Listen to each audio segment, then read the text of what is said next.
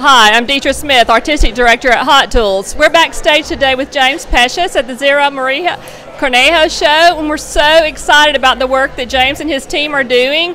James, could you tell us a little bit about the show and what kind of look Maria has asked you to create with this event? Cool. Yeah, I mean, uh, we're backstage. It's it's pretty packed back here. We're doing a look that's inspired by the South, uh, Beast of the Southern Wild. The hair is supposed to be a little bit steamy, sweaty, worked in you know, uh, it's, it's, kind of a, a, moment. We're creating a character here. So um, it's a really important collection. Uh, Maria is taking a huge stance with the fashion industry. She's been around for years, and this collection is um, very progressive in the sense that it's um, it's about ethical fashion, and um, and it's going to be very special. And you have a model that you could show us the looks that you're creating. Yeah, so here's a girl here. We just basically we went through with um, the volume active, blow dry it roots to ends on dry hair, create a massive amount of texture, and then we're going through in the, uh, the front section, and you're using a one-inch curling iron, and you're doing a flat Marcel wave, and then the rest of the hair you're using a one and a uh, quarter inch curling iron, doing a flat Marcel wave, and then we just take some fiber paste.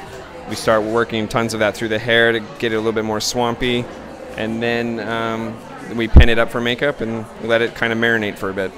Now, can you tell us how hairstylists in the everyday salon can take this look and use it in their chairs?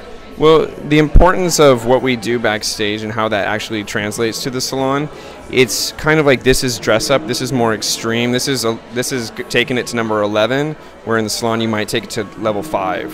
Um, and it's really important right now more than ever before because your clients are watching everything that's happening through social media. So even the, gr- the girls and boys that live in the middle of nowhere that have never seen this before or would, wouldn't see a fashion show until months later usually are now seeing it as it's happening in a live time. So they, even though this might seem more extreme now, it's quite possible they will watch a Prada show and then the next day go into the salon and say, hey, I want that short fringe.